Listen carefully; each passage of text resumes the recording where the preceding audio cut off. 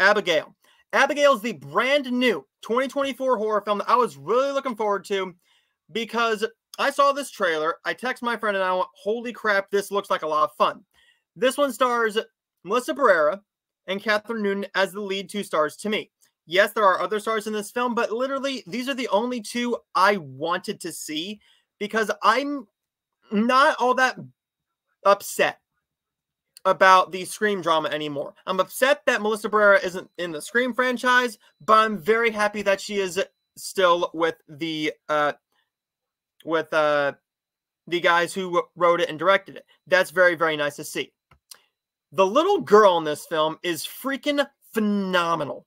This little girl portrays this vampire, this this 12-year-old ballerina, and she's the daughter of a powerful underworld figure all they have to do, all these criminals have to do is watch her overnight and they get a $50 million ransom. That's what they're trying to collect is a $50 million ransom, but also they didn't know that she was going to be a vampire. So she's taking them off one by one. The capers start to dwindle and they discover the mounting horror that they're locked inside the house with no normal little girl.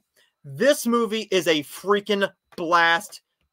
And oh my God, it is phenomenal. We do have somebody here in the chat. We got my bud, oh my good buddy Cam. Just got done talking to you about. Welcome into the stream.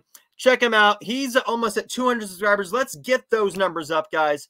But Abigail is a phenomenal little horror film. I saw this with my girlfriend. We were the only people in the theater.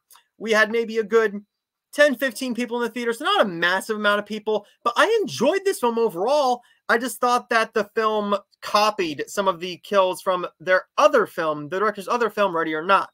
Not going to spoil anything, but there's a couple kills that really did feel like Ready or Not. If you've seen that movie, you know what I'm talking about.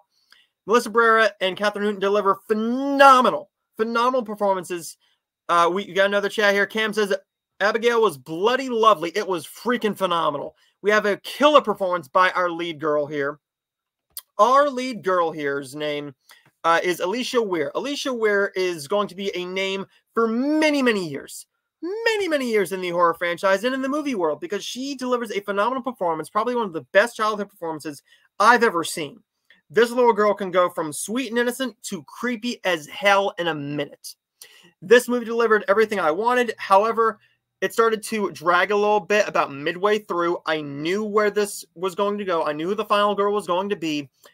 After we got to the uh, scene where the father shows up, that's where it really started to drag more. I thought you could have cut that scene out unless you're trying to get a sequel, which they might want a sequel for this film, and that's perfectly fine. I'm down for a sequel. My girlfriend is fine for the sequel. The guy who plays the father, who plays Abigail's father, she loved that. She popped in the theater. She went, Oh my God, perfect casting, perfect casting, perfect casting.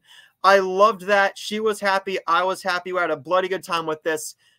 Just the pacing of this film about midway through didn't work for me, and I did not like the fact that they copied the kills from Ready or Not. Overall, a really bloody good time, great set design, phenomenal performances, bloody gore that delivered everything I wanted, and I ended up giving this one a 4 out of 5 on my Letterboxd. So to, on my grading scale, that's going to add up to about I'm going to give this one a good B uh, B plus. I enjoyed this one.